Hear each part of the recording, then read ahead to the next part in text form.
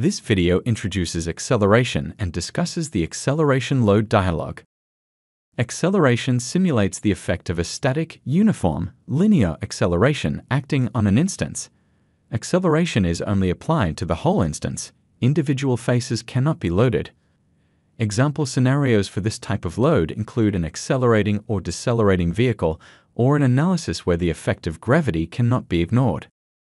To add an acceleration load to the assembly, select Acceleration from the Assembly toolbar. The Acceleration Load dialog appears. Select a single instance in the assembly on which the load should be applied. Next, establish a load direction with an explicit or implicit mate connector. The load direction is aligned with the mate connector's z-axis. The direction for the push and pull of the load can be reversed along the z-axis by clicking the opposite direction arrow. Load direction is configurable for each simulation. Once a load direction is established, a solid line extends from the instance outward with a load direction arrow placed at the end of the line. Each load type has its own unique icon. Now that a load direction is established, set the magnitude of the load along any of the three axes.